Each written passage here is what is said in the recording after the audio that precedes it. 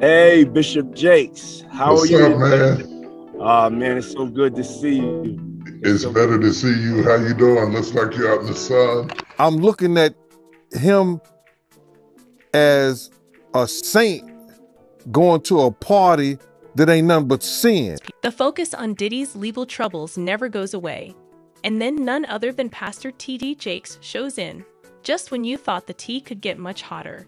We're delving into the most recent legal dispute that is appending the music mogul's world, in which Diddy is once again in the center of attention due to claims of sexual assault against a male music producer, and who's going to make an appearance. Yes, Pastor T.D. Jakes, a well known figure from Diddy's prior court cases, and who's going to make an appearance. Yes, Pastor T.D. Jakes, a well known figure from Diddy's prior court cases. The plaintiff in this case is Rodney Jones. Rodney Jones, aka Lil Rod, is the plaintiff in this case, and he's bringing the lawsuit against Diddy, Sean Combs, and several others. Let's bring you up to date on the most recent bombshell that has been shook Diddy's world, in case you have been living under a rock. Claims of drunkenness, violence, and gang assault abound in this vile story, which has landed the music tycoon in yet another legal morass. Who is the courageous person approaching Diddy now? The music producer who worked closely on Diddy's 2023 Grammy nominated record, The Love Record, is none other than Rodney Lil Rod Jones. Jones accuses Diddy of a long list of horrific crimes, including coercion and sexual assault, in a heartbreaking 73 page lawsuit. The length of this lawsuit and the number of things he claims Diddy done are astounding. Jones claimed that working with Diddy was nothing less than a nightmare. He alleges that he was the target of constant abuse, which included unwanted touching and advances towards sex. That's not all, though. Jones claims that in February 2023, while under the influence of alcohol, he woke up in a daze, naked, and in bed with two prostitutes, with Diddy supposedly waiting nearby. This is simply crazy, I guess. Um, so uh it's, just crazy. Just read, read. Diddy, according to Jones, didn't stop there. Using threats of violence if they didn't cooperate, he allegedly forced Jones and his own son, Justin Combs, into getting sex workers for parties. And don't believe that to be the worst of it. With hundreds of hours of audio and video recordings, Jones says he has incriminating proof that Diddy and his group are doing illicit acts in several states. They're probably looking at these allegations and thinking, where are the videos? Where are these still shots that we're seeing in these complaints? And can we investigate it to see if there's more here, potentially criminal charges? You may be asking how did he handle these terrifying charges at this point. Shawn Holley, his attorney, didn't take long to refute Jones' assertions, calling them outright fabrications. Holley audaciously declared that they had overwhelming, irrefutable evidence that Jones' claims are untrue. Folks, this roller coaster trip is far from done, so hang on to your hats. Jones is requesting an astounding $30 million in compensation. The stakes are higher than ever, and tensions are running high. Is this the beginning of the end for Diddy, or will he get back up stronger than before? The drama is just getting started, so grab a seat. Whatever I want, I get! Whatever I want, I get! We're going to spill all the tea.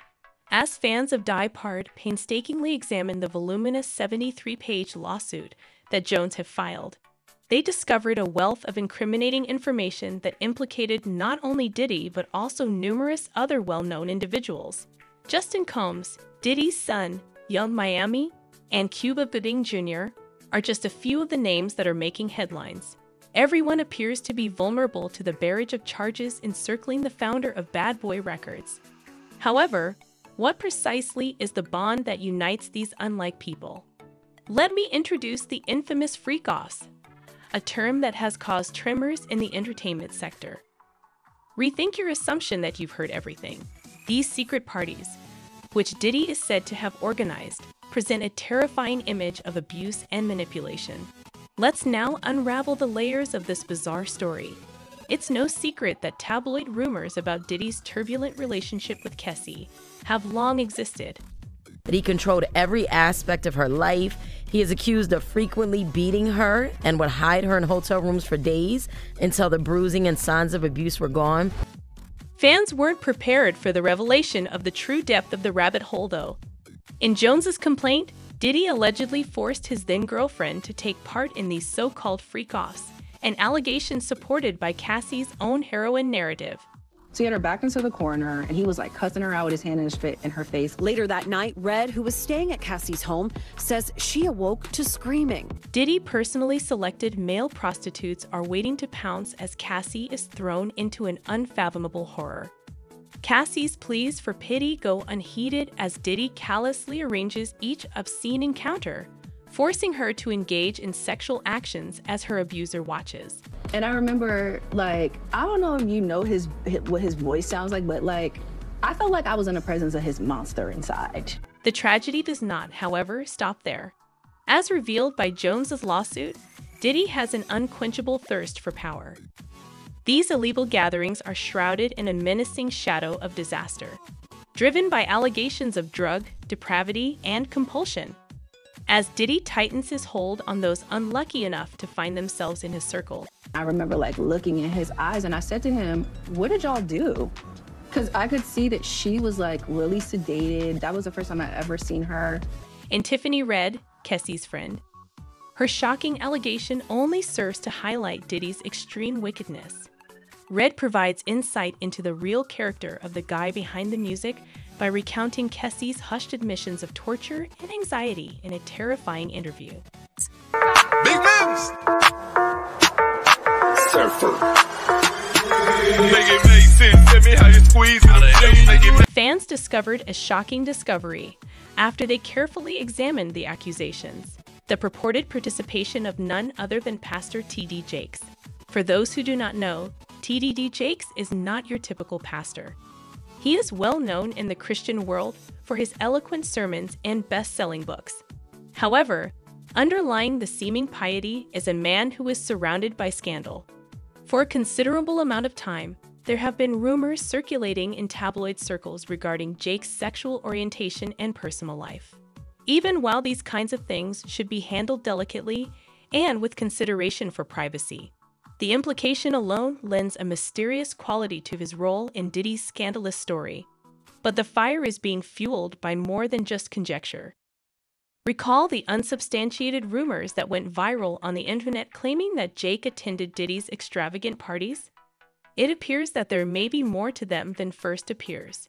Even though Jake and his team have fiercely denied any involvement, the timing of these claims is extremely concerning, particularly in view of Cassie's disclosures. So allegedly, Cassie has turned over evidence to the feds. Yes, to the feds. Let's now examine the charges made against Jake in more detail.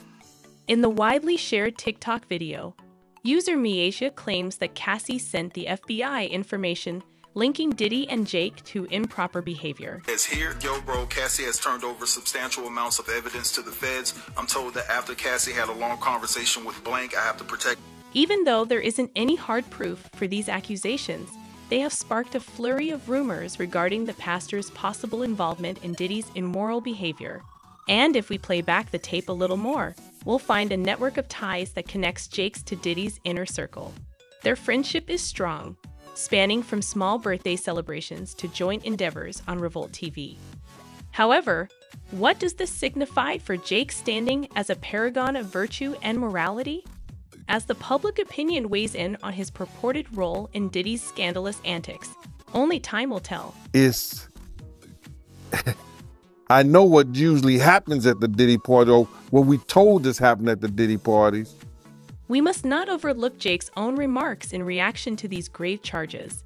The pastor refuted the claims in a statement addressed to the congregation, refusing to give the rumors any legitimacy. When I have the opportunity to preach a truth, I will not use this hallowed day and this sacred pulpit to address a lie, he said, his voice unwavering in the face of difficulty. Still, there are unanswered issues in spite of his unwavering denial. Is Jakes genuinely able to put his old pal's scandal behind him? What effect does this have on his standing as a spiritual leader, too? Jakes is at a turning point in his life as he deals with the consequences of his suspected involvement in Diddy's various extramarital affairs and the shifting public opinion. The rumors have been becoming louder, resonating in the hearts of fans everywhere and rippling through the halls of power in Hollywood. Diddy's former bodyguard Gene Deal has long been an outspoken opponent of the music tycoon and others close to him. Deal hasn't held back in subsequent interviews, raising questions about Jake's claimed innocence. I've talked to to reverends and priests, but they ain't never came to a party with me or nothing like that. And Deal isn't the only one stirring things up. For years, there has been much conjecture regarding Jake's connection to Diddy and his participation in the music mogul's lavish way of living. From extravagant birthday celebrations to intimate get togethers at Diddy's opulent estate, Jake's has been a noticeable fixture in the rapper's inner circle. However, Jake's congregation is becoming more and more scrutinized as well. Can they make sense of the scandalous gossip about their beloved priest and his public persona? Will Jake come out on top, his reputation intact after the incident, or will the burden of conjecture prove to be too great to bear? One thing is certain when the public's decision is delivered. Diddy's issue is still enveloping his world and doesn't seem to be getting any better. Fans who are shocked and perplexed by the drama that is developing have expressed their dismay and contempt on social media. As one ardent commenter puts it, human nature is the problem. Humans always misuse their authority once they get to a certain point. Not a single person in human history has ever possessed a specific authority without abusing it. It's absurd. We are incredibly self centered, egotistical beings this emotion resonates on various media, appealing to dejected admirers who are struggling with the degradation of their idol's reputation. But even in the midst of all the despair, there remains a gleam of optimism. It nearly seems as though he cannot be taken down. But he will be taken down, says a different commenter. I assure you that this is the beginning. This bold declaration so captures the determined will of all those who refuse to stand idly by in the face of injustice. The drumbeat of accountability intensifies as charges multiply and swirl, indicating that a reckoning is imminent. We now encourage you to join the discussion as we end up this wild journey through Diddy's sensational saga's turns and turns. What do you think about the accusations made against Diddy and Pastor T.D. Jake's involvement?